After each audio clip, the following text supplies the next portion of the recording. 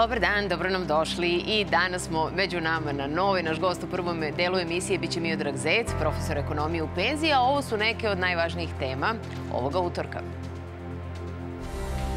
Čelnici SPS-a različito o zahtevu ministra Baste da se vlada odredi o sankcijama Rusiji. Dačić protiv, a Antić prvo lajkuje, a onda povlači objavu. Kako lajk ili po, kako, već to, kako se to već definiše, su povukli oni koji su shvatili da, da su pogrešili. Moskva se čudi zahtevu srpskog ministra. Ko su oni koji žele da budu deo Narodnog pokreta za državu? Bi lakše funkcionisali na lokalu, mi moramo da imamo jednu stabilnu Srbiju, jednu stabilnu zemlju sa jasnom, određenom, u ovom slučaju, evropskom perspektivom, što jeste naš stav. I tu je naš motiv da podržimo e, formiranje jednog ovakvog pokreta. Pozicija pre, brate. Zapisnik predaje. Neću, predajem, ja ću... Mate se, brate.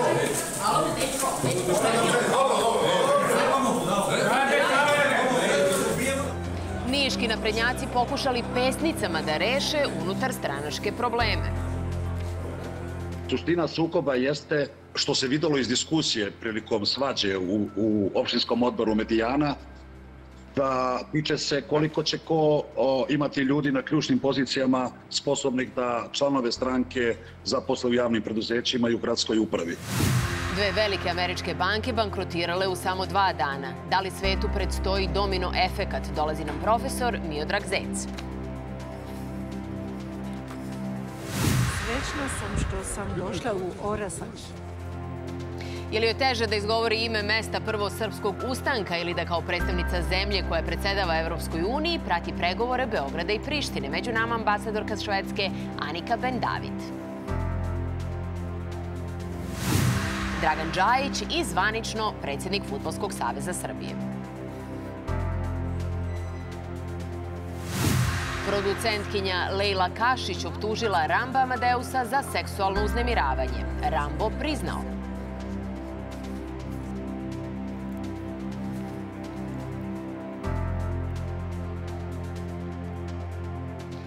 I da krenemo sa današnjom emisijom. Ministar privrede Rade Basta tražio je u svojoj objavi na društvenim mrežama da se njegove kolege iz vlade izjasne o uvođenju sankcija Rusiji, budući da, kako je on naveo, predsjednik Aleksandar Vučić zbog toga trpi veliki pritisak. Njegove reči izazvale su pravu buru, iako ministar danas više nije rekao ni jednu, čak ni tamo gde je bio najavljen da će govoriti.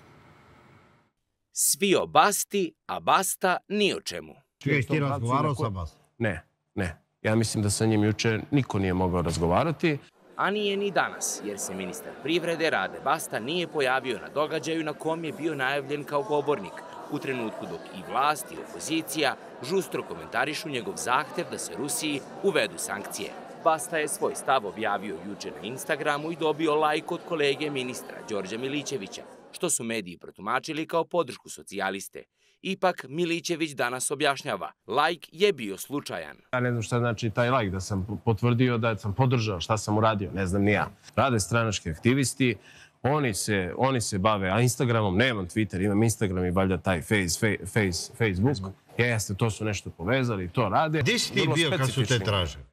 Bi si na neko porodično Na večer? porodičnom, porodičnom ručku. Ručak.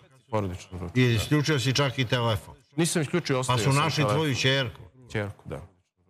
Da se izjasniš. Da se izasti čerka. Šalim se, naravno. Čerka je bila dete u traumi jer ona nije znala šta se, šta se dešava. Gle čuda, isto se desilo još jednom socijalisti Aleksandru Antiću i on je lajkovao Bastinu objavu pa povukao, a od svega se ogradio i Ivica Dačić. Inače, ministar privrede stiže iz redova Jedinstvene Srbije, a njegov predsjednik Dragan Marković Palma kaže Basta je izneo lični, a ne stranački stav. Šta kaže opozicija? Poslanik DS-a Srđan Milivojević misli da se sedište Bastinog ministarstva, kao i svih drugih, nalazi na Andrićevom vencu. Kad god Aleksandar Vučić kaže neću to da uradim, znajte da je to već uradio. Ja imam nepogrešiv poligraf koji Aleksandra Vučića hvata u svakoj laži. Čim ga vidim da mrda usnama, ja znam da laže. Dakle, kad kaže ne dam gazivode, gazivode je dao. Kad kaže neće biti sankcija Rusiji, sankcije su maltene već uvedene ili dogovorene.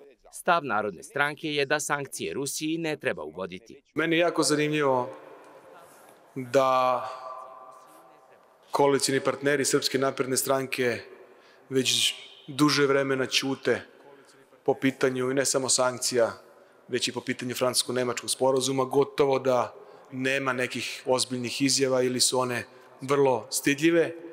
To govori o tome da je i podrška tome vrlo upitna s jedne strane, govori i o verovatno narušenim odnosima i poverenju u okviru vladajuće većine. Poslanik SSP-a Borko Stefanović još ranije je u Skupštini podneo inicijativu za uvođenje sankcija Rusiji. Mi smatramo da smo juče trebali da usaglasimo našu spojnu politiku sa Evropskom unijom, zalažemo za to glasno, ja bih rekao najglasniji u Srbiji i zato što je cena koju već plaćamo previsoka. Dakle, ta cena je i u tome što smo dobili uh, po Srbiju dosta nepovoljan plan za Kosovo i Metohiju. Bio bi mnogo bolji da smo usaglasili spojnu politiku sa Evropskom unijom i uveli sankcije Ruskoj federaciji. A šta kažu oni kojima bi Basta uveo sankcije? I dok ruska ministarka spoljnih poslova Marija Zaharova juče poručuje izjasnite se protiv pritisaka SAD, a ne sankcija Rusiji, port parol Kremlja Dmitri Peskov danas kaže Mi savršeno razumemo kakav se neviđeni, grub, protivzakonit, suprotan međunarodnom pravu pritisak vrši na mnoge zemlje, uključujući i Srbiju. Na Srbiju posebno i veoma cenimo stav koji je Srbija zauzimala do sada. Shvatamo da se uslovi menjaju, ali očekujemo da ćemo najproblematičnija pitanja rešavati u okviru našeg partnerskog poverljivog dijaloga sa srpskim prijateljima. Na Instagramu se oglasila i bivša ministarka Zorana Mihajlović, uz poruku da je Srbija u problemu ukoliko samo jedan ministar glasno misli da je potrebno uvesti sankcije Rusiji. Marko Novičić, Televizija Nova. Za članstvo u Narodnom pokretu za državu, čije je formiranje najavljeno ovog vikenda, već se javljaju prvi zainteresovani. Tako barem tvrdi premijerka Srbije Ana Brnabić. Tek najavljen, još mu se ne zna ni početak ni kraj, ali ako je verovati premijerki Ani Brnabić, zainteresovani pojedinci, pokreti i stranke već čekaju u redu za ulazak u narodni pokret. Ipak ima i nevernih toma. Ja prvo moram da vidim šta je taj narodni pokret. lično mislim da SPS će ući, kao što će ući i sve ostale part, satelitske partije, kako ih ja zovem, koji su u SNS od Rasima Ljajića pa Vulina i tako dalje. Na koga se to računa? Da li se računa na intelektualce koji nisu partijski opredeljeni? Jer kao cilj je šta je interes Srbije. Pa ne znam, i, i opozicionare, ako pitate, i oni će reći da, je, da se bore za interes Srbije. Mora ideja da se razradi. A ukoliko se ideja razradi, može li to značiti da će Vučićev narodni pokret da proguta SPS? Ne, ne, mi smo suviše jaki, suviše dugo trajemo, mnogi se menjaju, ali mi smo uvek isti.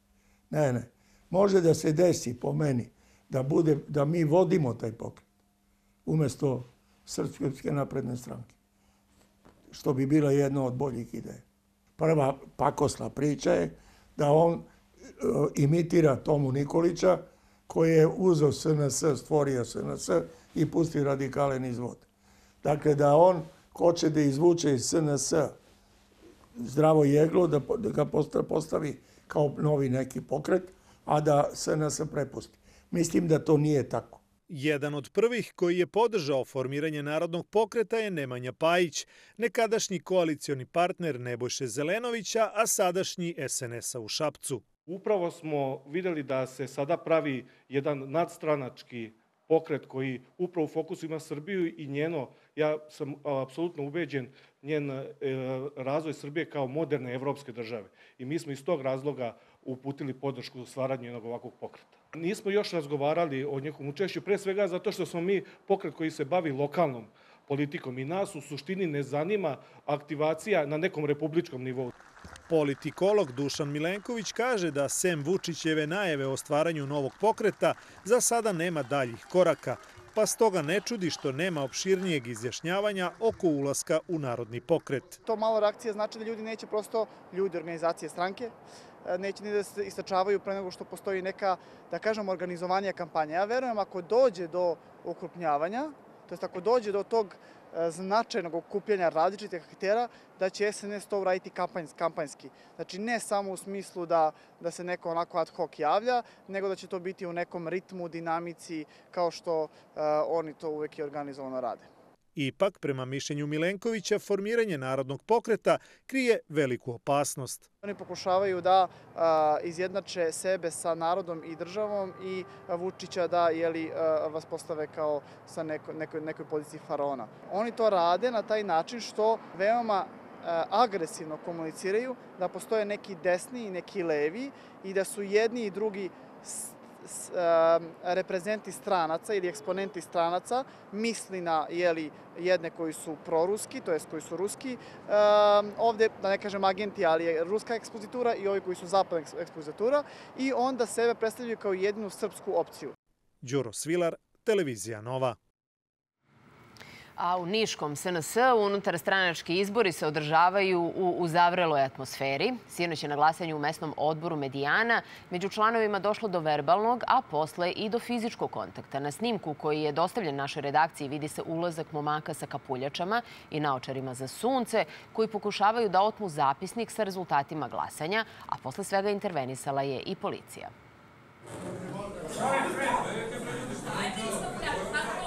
Snimljeno je juče oko 18 sati. Na snimku se mogu prepoznati član opštinskog veća gradske opštine Medijana, direktor javnog preduzeća Pošta Niš, bivši direktor Niškog vodovoda.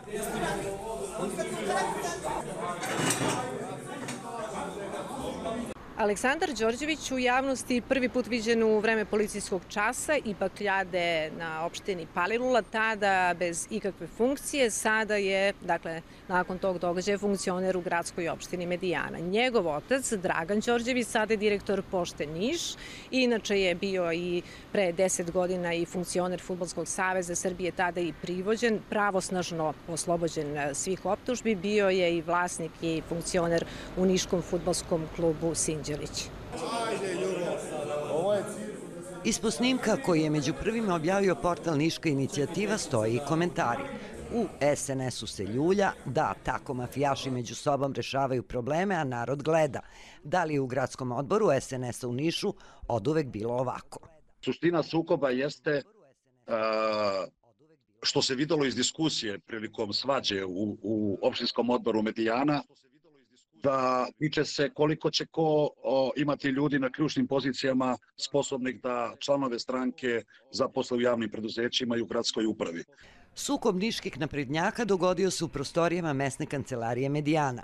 Prema našim izvorima, kandidati u ovom mesnom odboru bili su doktorka koja je u stranci od osnivanja i bivši direktor vodovoda koji je 2020. godine bio na izbornoj listi Ne damo Niš Bojana Vramović i to pod brojem 6.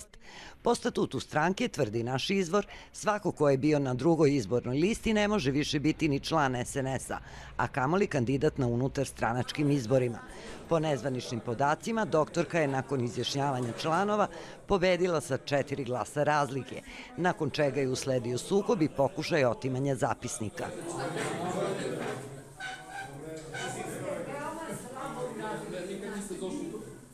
Što se grbo rodi, vreme ne ispravi. Tako i e, ta floskula važi za gradski odbor Srpske napredne stranke u Nišu i za opštinske odbore e, u Nišu koji potresaju od samog osnivanja stranke pa sve do danas potresaju razne e, frakcijske borbe, odnosno razne struje unutar same stranke. To je vrlo dobro poznato vrhu stranke koji godinama ne preuzima ništa jer o, zbog centralističkog rukovodđenja strankom imenuju predsednike opštinskih odbora i gradskog odbora, ne dozvoljavajući da članstvo samo izabere ljude koje će ih voditi. Podsjetimo, unutar stranački izbori SNS-a u Nišu organizuju se nakon skoro 12 godina povereništva. Izbori bi trebalo da budu završeni za dve nedelje, ali uz rasprave i sukobe, kakav je ovaj, teško je zamisliti da će Niš u skorijoj budućnosti dobiti novog predsednika gradskog odbora. Niška policija se ovom incidentu nije zvanično oglašavala, niti odgovorila na naš upit. Olivera Sašek Radulović, Niš, Televizija Nova. Američka regulatorna agencija za bankarstvo zatvorila je pre četiri dana Silicon Valley banku. Kolaps Silincijumske banke je inače drugi najveći bankrot jedne finansijske institucije u istoriji Amerike i svakako najveći od Ameri, bankrot Američke banke, izvinjavam se, od 2008. godine. E sada o posledicama ovog bankrota razgovarat ću sa Milanom Nešićem, on je moj kolega, novinar Glasa Amerike. Milane, hvala mnogo što, što nam se uključuješ u emisije. I najprije mi kaži kako su reagovale američke vlasti na bankrot Silikonske banke? Jesu li isplaćeni depoziti ulagačima?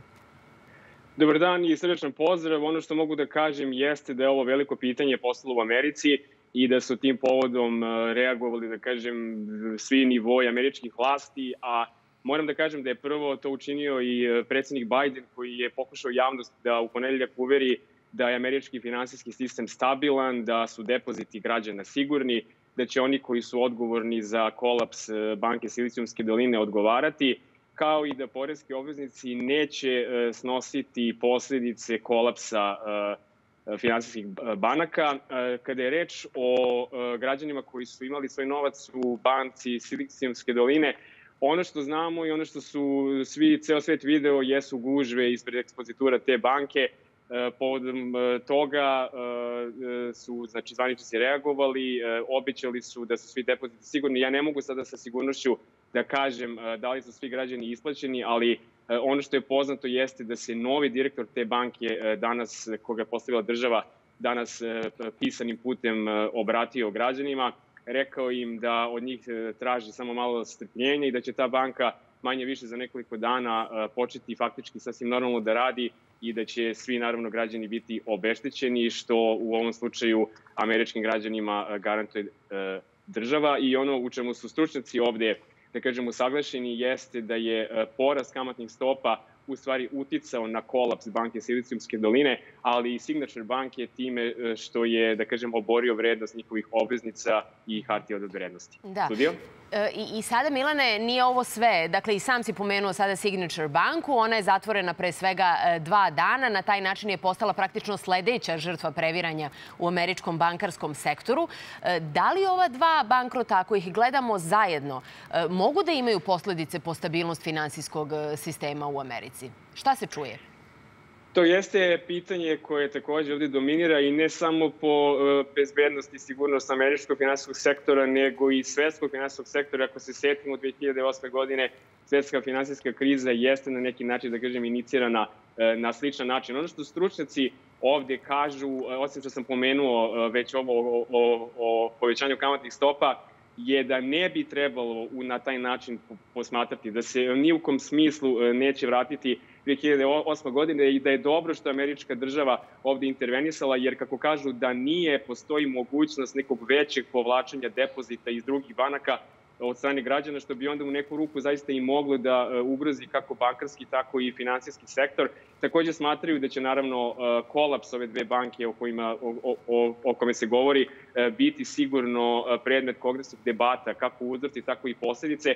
I takođe postoji jedan deo stručnjaka koji smatraju da bi, pošto su građani naravno sada, da kažem, zaplašeni na neki način u vezi sa stabilnošćem američkog finansijskog sektora mogli da povlače novac i ono što je već zabeleženo jeste da se iz uslovno rečeno manjih banaka e, deo građane prebacuje novac uslovno rečeno veće banke poput JP Morgana ili City grupa, ali suštinski ono što ovde od američkih finansijskih vlasti dolazi kao input građanima jeste ne povlačiti novac, to bi moglo da izazove mnogo veću nevolju, dok sa druge strane, eto, kao što smo čuli, neke od većih banaka dobijaju, da kažem, neki veći broj klijenata e, ovih poslednjih dana. Još uvijek nije poznato koliko to ide i kako ide, ali će biti poznato u narednim danima. Studio? I, Milane, samo za, za kraj, u kojoj meri je uzdrmana tehnološka industrija u ovoj zemlji, s obzirom na to da, da ove dve banke su bile poznate upravo po tome da, da podržavaju start-upove, da podržavaju uh, ono što je karakteristika poslovanja u Silicu, Silikonskoj dolini? Ono što je e, trenutno ovde u Americi aktuelno jeste kolike bi mogle biti razmere e, kako po američki finansijski sektor, tako i po svetski finansijski sektor, jer znamo da je banka Siliconske doline poslova u Velikoj Britaniji i videli smo da postoje takođe neke posledice prvo kako na berzi svetskoj, tako i u ovim drugim državama to o čemu me, me pitate, tako reći, nije još ušlo u fokus. Postoje, da kažem, strahovanje ili očekivanja da bi na neki način i taj sektor mogao biti ugrožen, ali još uvek nisu poznate razmere, da kažem sve oči su trenutno uprte prvo u, u, u uzroke i posljedice ove krize, a onda i kako to sanirati kako bi građani, što ste me i pitali, prvo došli do svog novca i kako faktički finansijski sektor američki prvo to ne bi bio ugrožen. Studio? Milane, najlepše hvala na, na ovom javljanju. Bio je ovo moj kolega Milan Nešić, novinar Glasa Amerike. A vreme za našeg prvog gosta. On inače spada u tu redku grupu ljudi čije analize, iako se tiču e, komplikovanih činjenica, ekonomskih procesa, možemo da razumemo skoro svi. Ekonomista, profesor Miodrag Zec, dobro večer i hvala, hvala što ste mi došli ovde. I sada evo, volela bi da, da krenemo najpre sa ovim što se dešava u Sjedinjenim američkim državama, baš zbog te 2008. godine, zato što sećamo se jako dobro da, da ta kriza se posle toga jeste prelila u Evropu, da smo i tekako osetili i, i mi u Srbiji. Kako vama deluje zatvaranje ove dve banke? Pa, deluje mi da to, te stvari se ne dešavaju slučajno. Sistem je finansijski tako napravljen da omogućava preraspodelu dohodaka od jednih ka drugim ogromnim razverama i povezivanje komercijalnih banaka, investicijnih banaka, ovih standardnih banaka, to je uvek izvor krize. Znači, sam sistem je tako napravljen da produkuje krizu. Je li da, e, to, je, to je jedna velika zamka u koju Amerika je donela čitav niz zakona koji imaju nadležnost države, kontrole, revizore i tako dalje, ali očigledno se pokazalo da to, da to ne deluje. I 2008. godine svi revizori koji su radili banke koje su propale, rekli su da one imaju rating dobar, da imaju 3A i tako dalje. Znači, ovdje je kriza ugrađena u sistem. Treba razdvojiti ove te ventura poslove, te, te rizične plasmane i tako dalje od klasičnih depozita. I sad se, ka, i šta će oni dobiti? Pa dobit će osigurane depozite. Valjda su to 250.000 dolara. Znači, to će platiti država, jel?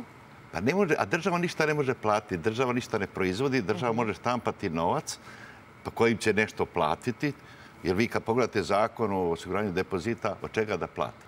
Država znači može platiti ako nešto ima naplatila je kao porez. Znači može, mora da uzme da bi dala.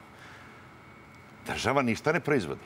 Država je mehanizam koji raspodeljuje dohodke i novac i štampa novac. Ono što je najopasnije što se, no, što, se ovde, što će se ovde dešavati, što ti veliki igrači na finansijskom tržištu, ni oni nisu nikada bili kažnjeni. Dobro. Nikada oni nisu bili Ni posle 2008. godine nije se promenio sistem, pa kad, pa kad je Enron bankrotirao, ta firma koja ima 20 milijardi prihoda, Artur Andersen, samo razišli su se ljudi. I zaposlili se sad u druge stvari. Veliki, mali igrači stradaju. To je pitanje da se pravi sistem u kome mali, mali štedišar, mali depozitar strada. A cijeli sistem se priča. Sad su oni žale što su kamatne stope otišle. Jer oni igraju na toj razlici. Pa vi imate ovdje u Srbiji Vi kad imate depozit u banci imate 0,1% ili 0%. Kad uđete u dozvoljeni minus što uvozi sirotinja, to je 20-30%. Kad uđete u nedozvoljeni i tako dalje, onda je to 40-50%. Pa, se, pa date njemu novac po 0,1%, on pozajmi državi Srbiji, recimo, po 7%. To je jedna velika igranka, jedan veliki mehanizam preraspodele. I ovo što se desilo 2008. godine, to je igranje na to da će cene rasti. I hipoteke. Ne, ne, sad rastu. Ne, ne, ali, ali kad, kad sistem stane, on stalno logicira da ću ja prvi se dočepati da kupim garažu koja će biti 100.000. A šta ako bude 5.000, a ti dao 50.000? I to se desilo. Pale su hipoteke. Ja sam bio pre dva mjeseca u Americi. To je na desetine hiljada ljudi u Silikonskoj dolici na ulici.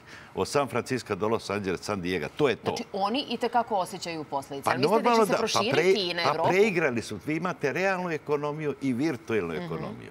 Vi imate da odjednom neko ima 100 milijardi, recimo Facebook. Šta on proizvodi, šta predaje? To da, mi, da ja sad slikam ovdje šta sam jeo i da javljam vama u Meksiku šta sam jeo. Kakav je to proizvod? Znači, vi imate virtualnu industriju, industriju igara, igrica i tako. Imate strahovito brzo rastuće stvari. I svi žele da uđu u to. Kad to sad stane, stvari se vrati na početak. Svi smatraju da je kamatna stopa treba da bude nula ili negativno. To se pozdravljalo. Ali ko to pozdravlja? Pa pozdravljaju dužnici, je tako? A poverioci, oni su kažnjeni. I ti sada kad imaš inflaciju kao globalni fenomen i u Americi, tako da je, gdje se ona pokriva? Pa gde se pokriva? Pa pokriva se da onaj deo pristojnog sveta koji je štedio, to je srednja klasa. Zato je srednja klasa nestala. Šta se nije- dešava sa njima? Štedili su i? Pa štedili su ljudi, nemaju, e, nisu svi ljudi preduzetnici. To je američka mantra. Nisu svi ljudi preduzetnici. 5% ljudi ima preduzetnički talent uopšte ili ima inovativni talent. I ljudi su štedili za penziju, za socijalno osiguranja. Pa ovde su stradali penzioni fondovi ogrom po celom svetu 2008. godine. Razumete? Znači, ti si štedio hipotetički. Od uvek je automobil srednje klase bio pola kila zlata. Od uvek. I onaj Ford iz Mhm. 910. i ovaj sad Ford Mondeo prike pola kila zlata. Slutim da ćete mi reći da je više nije tako, jel? Pa, ne, ne, on je uvijek pola kile zlata, ali je sad 100.000 dolara. Ja studentima objašnjavam šta se to dešava. Pa ako ste gledali kaubojske filmove, verovatno jeste, bar ja sam ih gledao, ti prodaš hiljadu stado krava Mhm. i staviš novac pod šešir. Dobro. Sad je jedna, jedna krava 3000 dolara. Papir i novac gubi vrednost. Cela priča je počela globalno kao jedna velika preraspodela moći. Kad je Amerika napustila zlatno važenje dolara 71. godine, kad nije mogla da isplati dugove prema, prema drugim zemljama koji su depozite države u Americi po paritetu koji je obećala e, dolar zlato, tada je se uzdrmao svetski finansijski sistem, tada su pojavili se petrodolari. Ovo je sad situacija takva.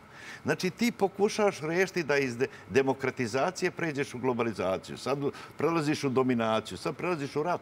Ali objektivno ne može se novac stvoriti iz ničega.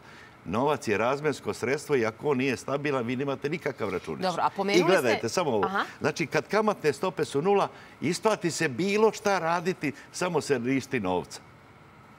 I to su ljudi radili. To, to se dešava kod nas. Ljudi masovno prazne ovaj, štednju, kupi bilo šta. Da su u pravu kad to rade?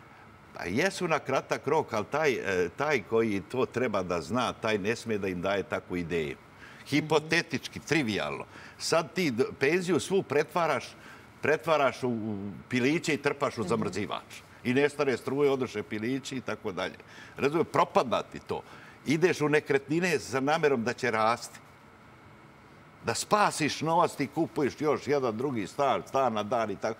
Šta kad, kad počne povlačenje stanovništva, što se može očekivati kod da se to dešava? Ko će to da plati?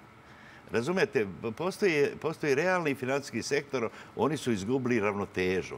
Ima tri puta više novca dolarskog nego što treba, nego što je društveni proizvod. A, I ti- to je jedna velika naša, igranka. Da, a ova naša situacija i globalna, kažete i globalna inflacija, e, mi ovde u Srbiji je i tekako osetimo, najviše osetimo kad je, kad je hrana u pitanju. Kako vi vidite e, njen, šta je ona danas? Ovo je samo jedna od kriza u nizu, ali kolika je? Je li jedna od najvećih koje, koje ćemo zapamtiti? Pa nije, imali smo i 90. godine, neće to ići ni, ni blizu Mhm. tako, ali je to veliko uznimirenje. Sad je inflacija globalni fenomen. Jer inflacija treba obezvređuje, ona, po, ona poboljšava položaj dužnika inflacije. Zato se ona izaziva. Pa kako su stvorena bogatstva 90. godine u Jugoslaviji? Pa Znači, ona odgovara pa dužnicima. stvorena su tako što se uzeo primarnu emisiju, pa si kupio robu, pa si robu prodao i vratio si deseti deo peti deo. Kad imate inflaciju 60% dnevno. Znači ona uvek nekom koristi, jel? Pa normalno, a ti koji... Kre... Običan čovek, srednja klasa, mali preduzetnik, e, biro administracija, prosvećena, neprosvećena, nastavnici, šta oni da rade? Kako da oni preraspodele svoj dohodak u vremenu? Pa kroz štednju ili kroz državne obveznice. Nema druge. Mi nemamo prilike da kupimo čitav niz tih finansijskih proizvoda. Pa šta vi mislite da mali mogu da igraju na berzi? Pa na berzi igraju glavni igrači, prodaju kad je, kad je na vrhu, a ovi kad čuju da je stampedo, ne mogu ništa prodati. Cena će biti nula, kao što je u Bitcoinu i tako dalje. Da. Znači, ovde se velika preraspodela dešava kroz financije. A šta se dešava u kontekstu e, rata? Šta se dešava u kontekstu tih ogromnih ulaganja koje vidimo e, iz Sjedinjenih američkih država, koje vidimo i od strane Evropske unije? Odakle novac za sve to? Pa ne, nema novca. Pa kako ne? Vi, pa vi da kad hoćete nekom nešto da date, možete dati stare cipele koje već imate ili otvoriti novčanik pa date ako imate, ako imate štednju, a države nemaju štednju. Države imaju minuse na budžetima. Minus. Pa daju, pa štampaju novac. Štampaju novac. Nema druge. Pa vi kad pogledate sve budžete Evropske, Evropske unije, odakle tolike pare? To se samo knjiži kao dug Ukrajine, pa koji će se vratiti geostrateški ili se neće vratiti. Pa Srbija je e, također se zaduživala u toku rata i na kraju kad stigli su računi za pertle u Francuskoj i tako. Ne može se novac napraviti tek stihilo. To, to je iluzija.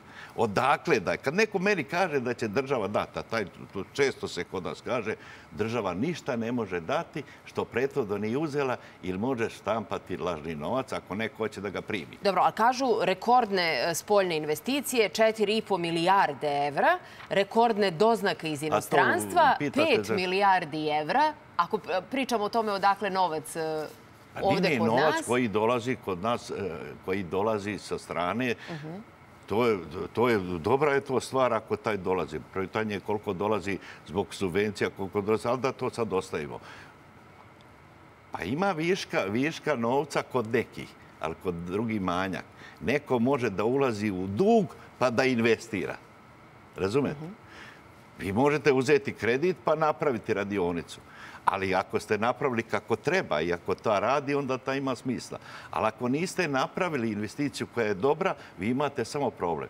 Pa evo sad je aktualno Kosovo. 40.000 objekata je bivša Jugoslavija i Srbija napravila na Kosovu koji su zatvoreni. Koji uopšte ne rade.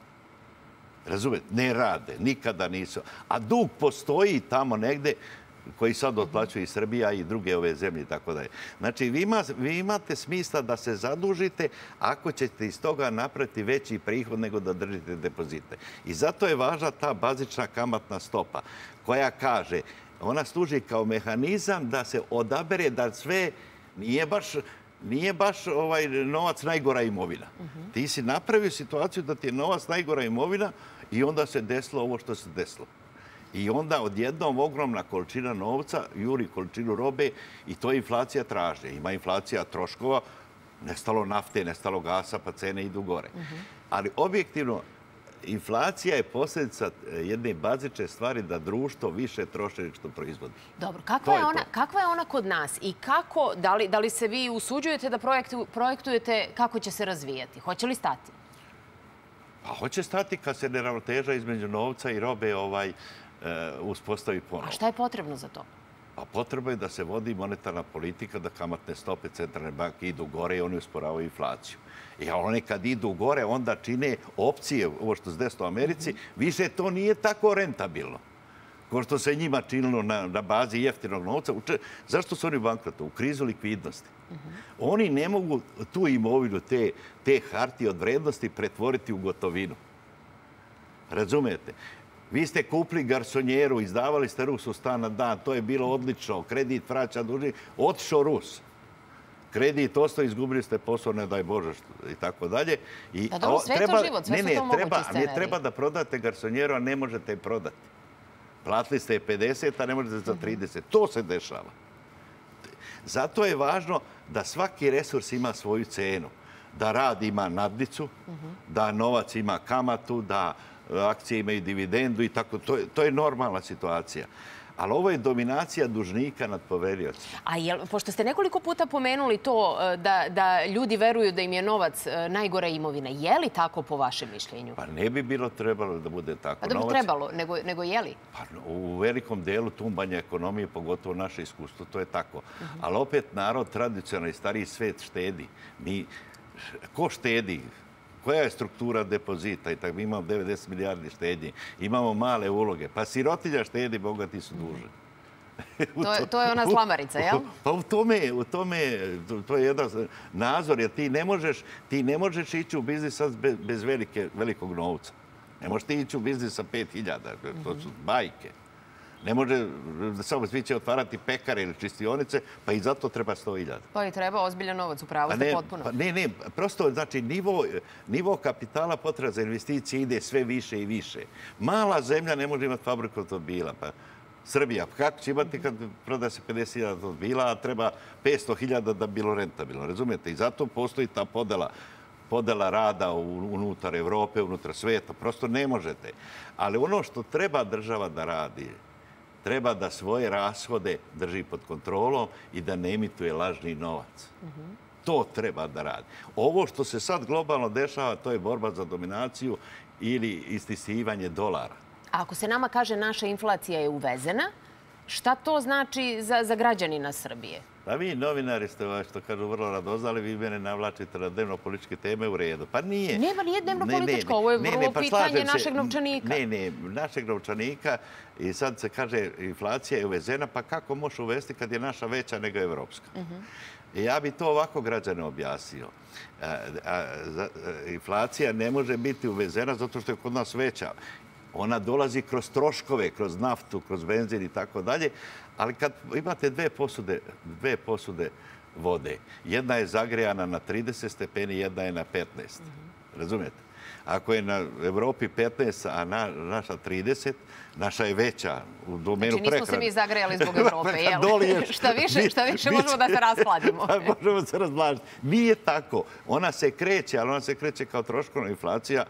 Ali objektivno, kad kod nas neko kaže da će dati nešto što prethodno nije uzeo, mi, mi trošimo iz duga. Iz duga. Dug je nominalno sve veći i veći.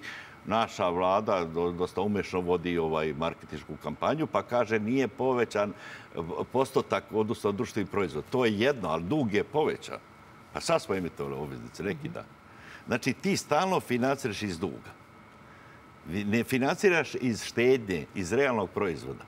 Nisi prodao nešto pa zaradio pa investirao, nego se zadužio.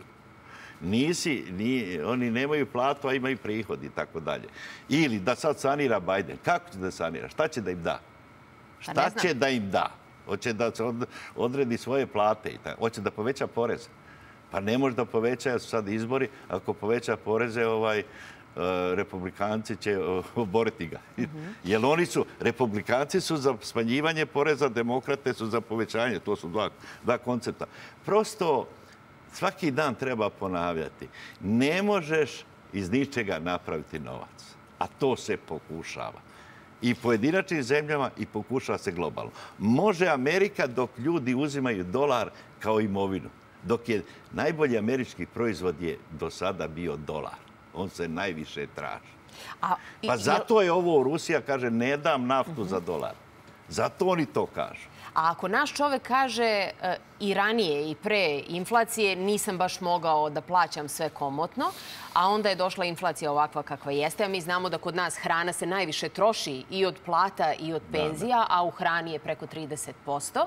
I ako nam se kaže sada, evo, poskupeće struja još jednom u maju i vidjet ćemo i za posle, a bit će to negde, ovo informacija iz Fiskalnog saveta, negde oko 30%. Ako čujemo poskupeće gas jednom 10%, a možda još jednom jednocifreno do, do kraja godine, e, od čega će se to onda plaćati? A kada kažem to, mislim proizvodi, hrana, računi. Pa to je pitanje osiromašenja stanovništva koje će nastupiti ili će se, ovaj, što kažu, cene vra- vraćati ili neće biti kupaca. A se cene ikada iz vašeg iskustva Pa, vraćaju? Vrlo se redko vraća. Imate periode, neke periode u istoriji deflacije, znači opšteg pada cena, ali to je toliko redko. One su, one su elastične samo na više. Jer mi treba da se naviknemo da, da ove cene koje sad gledamo, da su to cene koje će da nam ostanu.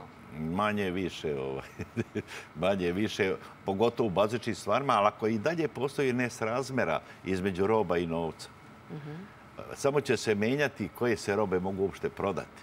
Pitanje je ka- kakva je struktura potrošača, pa čovek neće, prestaće nešto da kupuje što je luksus, što je ovo, što je ono, pa zato se i zatvaraju luksuzne radnje. Mhm, dobro, to, to je primetno. A šta sa onima... A šta sa jeste to onima... primetili? Pa kako da ne? Ali E, šta pa sa onima koji kažu nemaju više šta da prestanu da kupuju, jer kupuju osnovno, a takvih je mnogo. Pa takvi je mnogo, a onda se javljaju određeni pritisci politički i tako dalje, ali to ja ne bih teo da budem prorok. Dobro. E, jel, jel vi mislite da ćemo mi moći da nastavimo sa, sa subvencionisanim cenama sada kada imamo ponovni dogovor sa MMF-om koji nam traži da se dignu cene i te struje i, i gasa? Dakle, hoćemo li mi moći da, da nastavimo da funkcionišemo ovako, da država e, subvencioniše cene Pa javnim ja mislim preduzećima? da je glavni problem sa cenama struje i gasa ovaj taj što mi imamo apsolutno neefikasna javna preduzeća i što se svi su zaboravili da je to milijarda, milijarda i po proćerdano zbog nekompetencije, neznanja, prevara i što ja znam, da ja ne ulazim u to.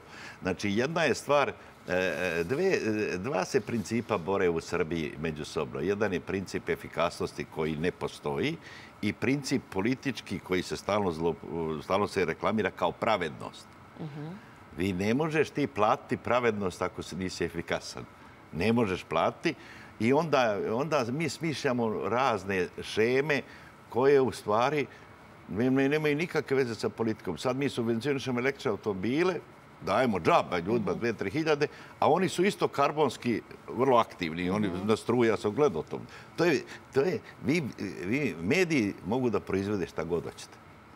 Znači, Dobro, kad se mo- pogleda vi broj možete- električnih Ne, ne, automobila, shvati se da to i nije toliko. ne, ne, ali gledajte u Americi, oni, oni, isto, oni, oni su isto opasni kao i ovi.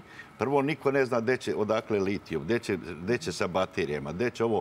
Ma malo jezivo deluje kad ide ono sam, ja sam to sad gledao.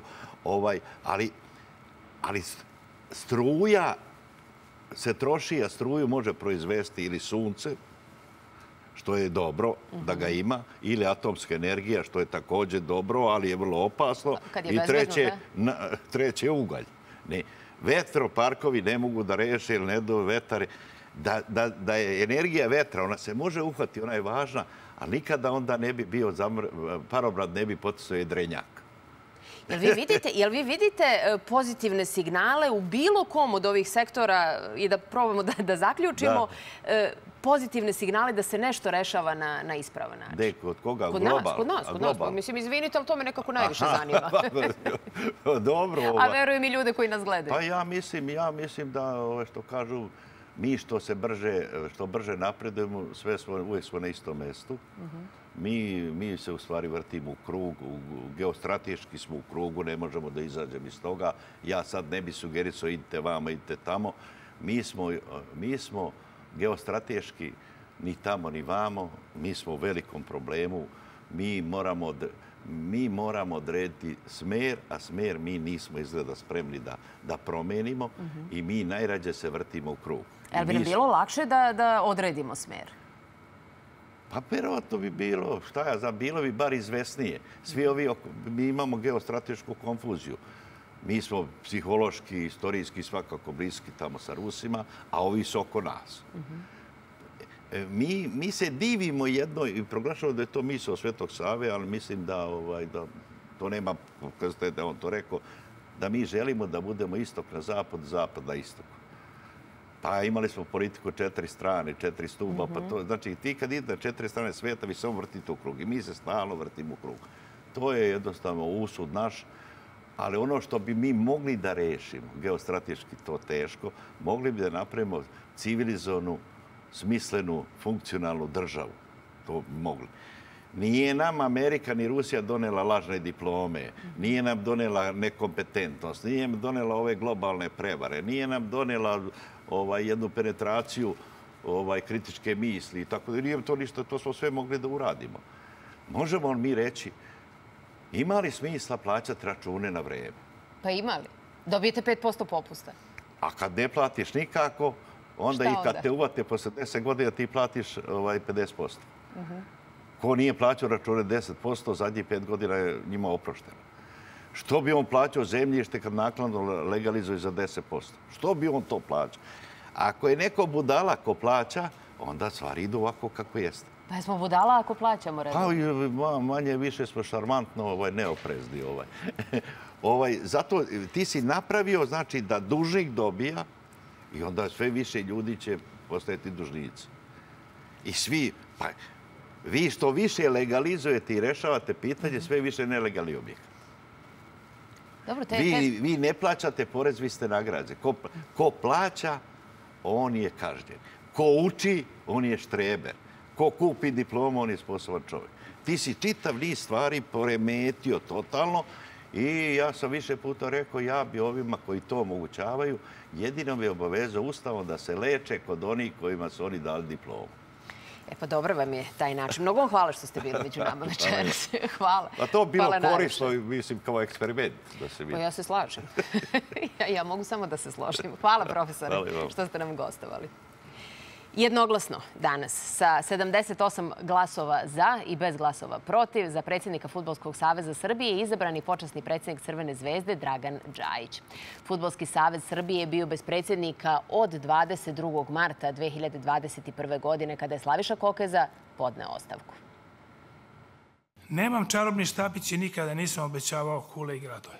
Nisam čovjek koji, koji će da dođe na funkciju i da kaže sve ću vam ja rešiti. To mi ne pada na pamet. Niti bilo kome obećavam, niti sam obećao. Mogu da radim onako kako to najbolje znam, da dam svoj, sve svoje znanje, iskustvo i umeće, a vreme će pokazati kako će to biti izgledati. Uvek sam sebe smatrao odgovornim čovekom i zato, i zato ću nastojati da moj doprinos bude maksimalno moguć. Ovo je okviran plan koji ćemo zajedničkim snagama kroz rad u periodu pred nama razrađivati i širiti u brojne segmente koji čine Futbalski savez Srbije. Rekao sam već da nam mislim da je potrebno seda glava, mislim da svako ko razume futbal može da, da obavlja ulogu predsjednika Futbalskog saveza Srbije. Iskustva, iskustvo ima prednost, zavisi šta je ko radio. Ne završava se sve na tome ko će da pobedi, već se radi o nekoj perspektivi za budućnost. Iskreno to mislim. Samo vas molim da na početku imamo strpljenja, da sagledamo sve iz najboljih uglova, svaki pojedinački problem i onda nađemo najbolje moguće rešenje. Ne planiram da pravim nikakve radikalne zaokrete. Oni će dolaziti sa vremenom, a u saradnji svih nas, kao i u zajedničkom dogovoru sa jasno postavljenim ciljevima. Vidim da gledate na vaš sat, neću vas više, neću vam praviti neprijatnost, niti je to bio moj, niti je to bila moja namera, moje namere su poštene. Sve ovo što sam ja rekao dovelo nas je do toga da mi danas imamo izbore koji su nedemokratski, to je moj lični stav. Vi jako dobro znate zašto je Nemanja Vidić odstupio. Ja ne želim da mi sada pričamo na tu temu, mislim da nije pravi trenutak, ali to je poraz svih nas. Poraz svih nas koji radimo u futbalu i činjenica da jedan takav čovek, ugledan, kredibilan, je morao da donese takvu odluku, a vi znate i razloge zbog kojih je on tu odluku doneo, treba da nas posrami i da se zapitamo zaista u kom pravcu ide srpski futbal i da li smo uopšte dostojni da tražimo bilo čiju podršku. Hvala. Da je bilo onako kako se najavljivalo nedeljama unazad, danas bismo u Skupštini Futbolskog saveza Srbije gledali odnos snaga dvojice kandidata za mesto prvog čoveka futbala, Dragana Đajića i Nemanje Vidića. Međutim, nije bilo.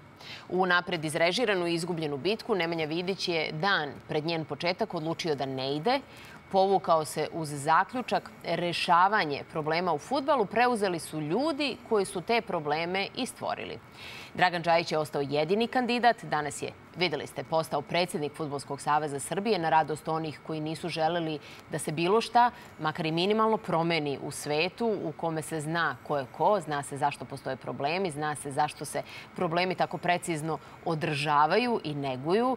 I šta je zaključak? Hajde da probamo da, da dođemo do njega. Zoran Pavić, urednik sportske redakcije Liste danas, moj gost večeras. Dobroveče i hvala, hvala puno što ste mi došli.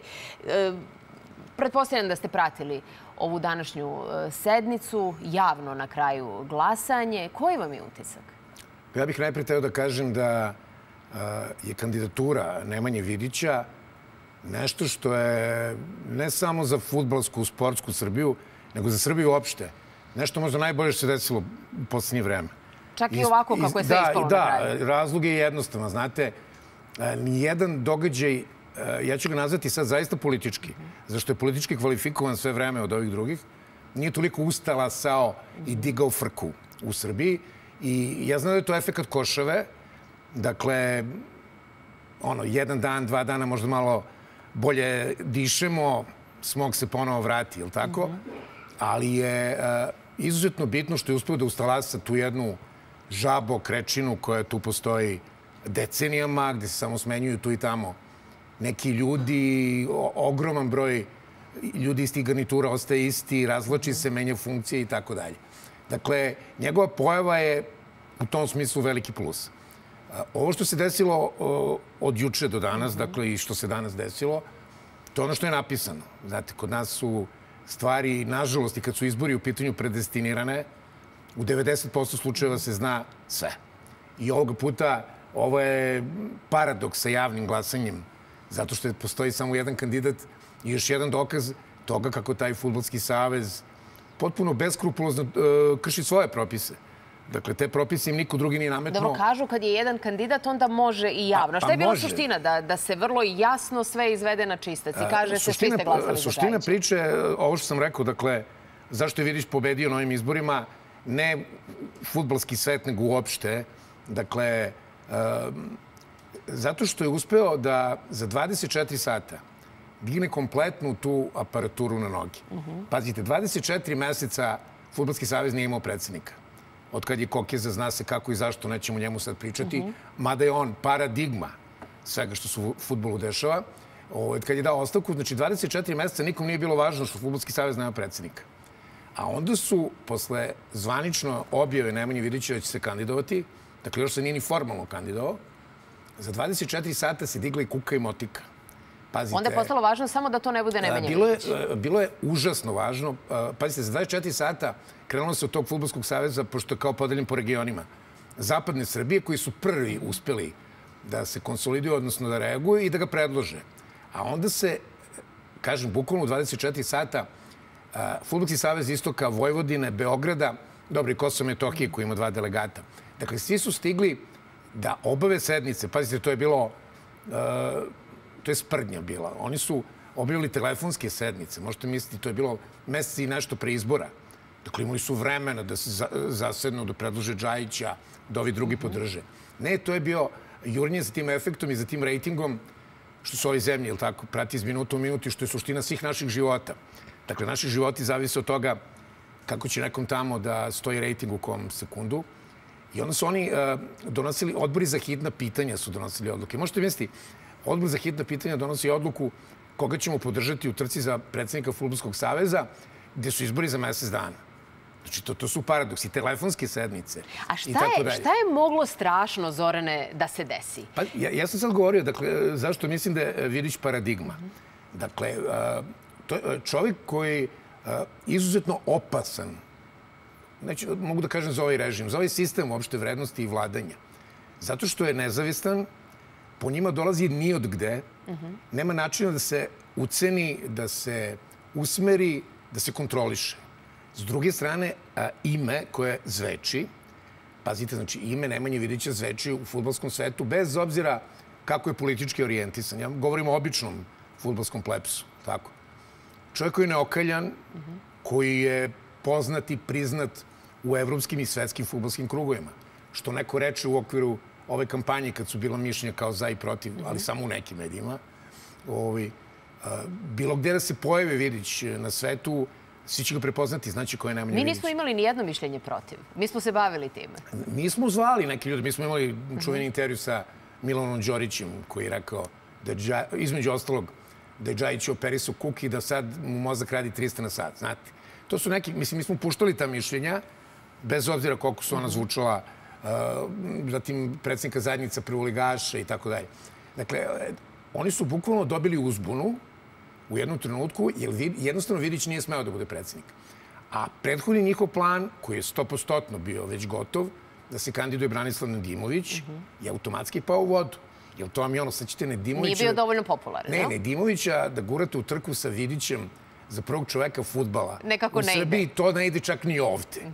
Znate, to, to je bilo već previše, to je bio prst u oko i onda je bukvalno, ovaj, kako bih rekao, iz um, frižidera zamrzivača izvučen Džajić, kome je ovo verovatno najveća mrlja u karijeri, mnogo veća od onog hapšenja koje nije ni trebalo da bude onako, e, kako bih rekao, pred kamerama, javno i tako dalje. I suđenje i dozvolu da dva dana pre izricanja presude dozvoli da bude aboliran, tako da nikada u stvari ne može za sebe da kaže da je bio potpuno nevin, ili tako? Mi tu presudu nikad nismo čuli. Tako da sve zajedno e, čovek koji nema apsolutno nikakav interes ni mogućnost, ni potencijal u svojim godinama, sa svojim zdravljem i sve ostalo, da radi tako bitan posao. Pa dobro, hoće li imati, da, da tako kažemo, pomoćnike? Pazite, e, govori se da predsednik naravno ne radi sve. Da predsednik treba da oformi svoj tim ljudi koji će raditi svako svoj sektor, je tako, da ekonomiju financija dorade s mlađim kategorijama i tako dalje. Međutim, ovdje suština priče je sasvim drugačija. E, Pogledajte Džajićev program koji je izložio Nomad na RTS-u. Pogledajte ovo što je danas rekao. Znači, najbitnija rečenica koju on danas izgovori je da neće praviti radikalne zaokrete. Pa u našem futbolu ako išta treba, kad govorim futbolu, mislim kom- kompletan sistem, pa to su samo radikalni zaokreti. Dakle, ništa kozmetički tu ne može da se promeni. Pogledajte ljude koje je on uzeo u izvršni odbor i podpredsednik. To su ljudi koji su 100 godina u toj futbolskoj organizaciji. Da ne govorim koji su ogrezli u korupciji i u svim nepravilnostima. Sve ono što se ružno dešava u Srbiji, dešava se u futbalu, a u futbolu se čak dešava i još nešto. Znate.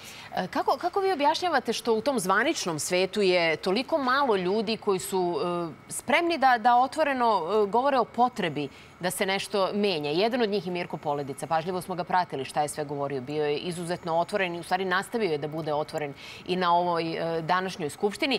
Na kraju je rekao Draganu Džajiću, kaže, rekao bih za kraj da je ova pobeda vaš najveći poraz. To sam sad upravo rekao i Mhm. slažem se potpuno. Mirko Polodica je poslednjih mnogo godina jedna od tih svetlih tački u smislu borbe sa tim nepravilnostima i haosom u srpskom futbolu uz neke medije i tako još neke ljude. Neću da ih pominjem da nekog ne bi zaboravio. On je postao član Skupštine Futbolskog saveza na direktni ovaj, ultimatum FIFA, jer svugde u Evropi i svetu zastupnik sindikata futbolera, odnosno profesionalne organizacije, mora biti član Skupštine. Naravno, negdje ih je više. Dakle, on je promenom statuta ušao, inače nikad ne bi bio član Skupštine da je neko te ljude tamo pitao. To je prva stvar. Druga stvar, eh, čovjek je isto nezavistan. Dakle, on ima sindikat profesionalnih futbolera nezavisnost, koje samo mu ime kaže nezavisna organizacija. Član je FIF Pro organizacije svetske, ovaj, organizacije profesionalnih futbolera, čak i član nekih njihovih organa, tako da e, jednostavno nema nikakvog razloga da bilo kome ovde povlađuje ili da ne priča ono što misli. Za razliku od svih drugih koji su, pazite, to, to je, e, možda je to ružna reč i mnogo je korišćena, pa je malo i ovaj, istrošena hobotnica. Ne mora ona biti samo mafijaška, znate. Ovo je isto hobot. Znači, svi su oni isprepletani interesima, puterom na glavi, dosijejima u fiokama i tako dalje.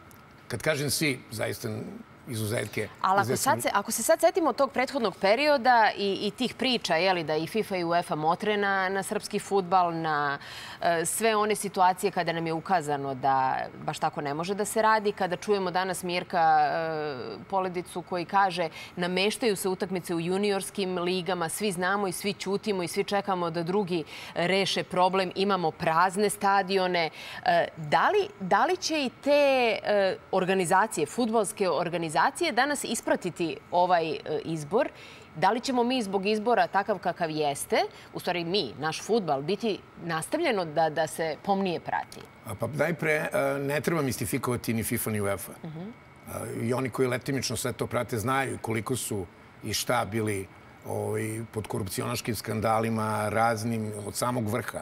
Jedna i druga organizacija, pa što se kaže vertikalno naniže i oko organizacija mundijala. Znači sve razumeju u stvari kako to da, ide, jel? Dakle, a da ne govorim sad, pazite, mi, e, 24 meseca mi smo prekršili e, neke odredbe UEFA. Dakle, mi nismo smeo savez da bude bez predsednika toliko dugo i da nije bilo, da nije predizborna kampanja UEFA u ovom trenutku, a ne, ne u ovom trenutku, već nego četiri meseca, pardon, oni bi nas sankcionisali već. Dakle, bila bi prinudna uprava kao što je bilo u Grčkoj, Litvaniji, više ne znam gde, u Evropi, a van Evrope na mnogim mestima.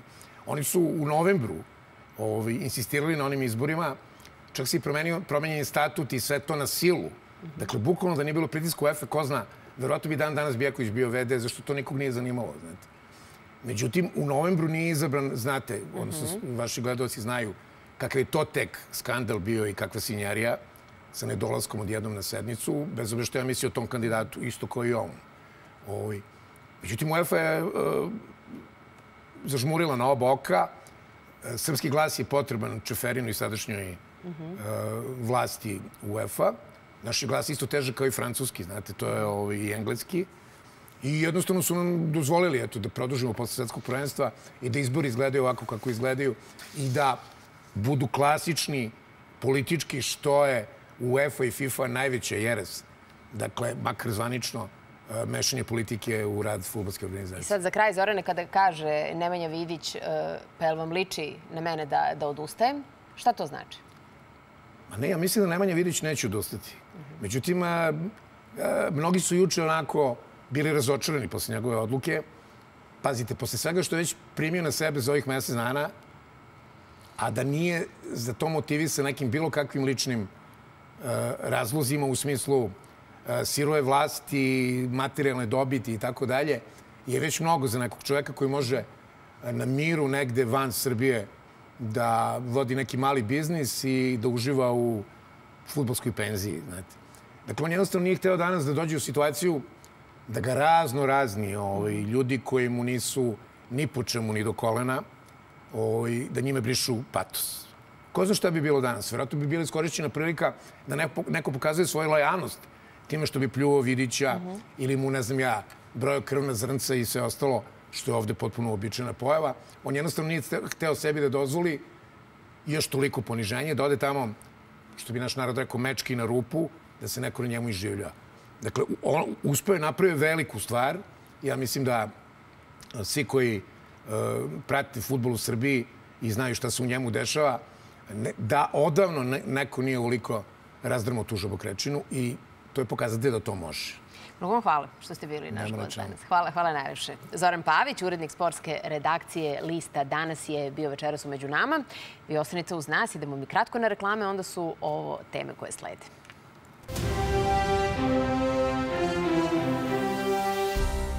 O Srbiji, Briselu i švedskom standardu za među nama govori švedska ambasadorka Anika Bendavid.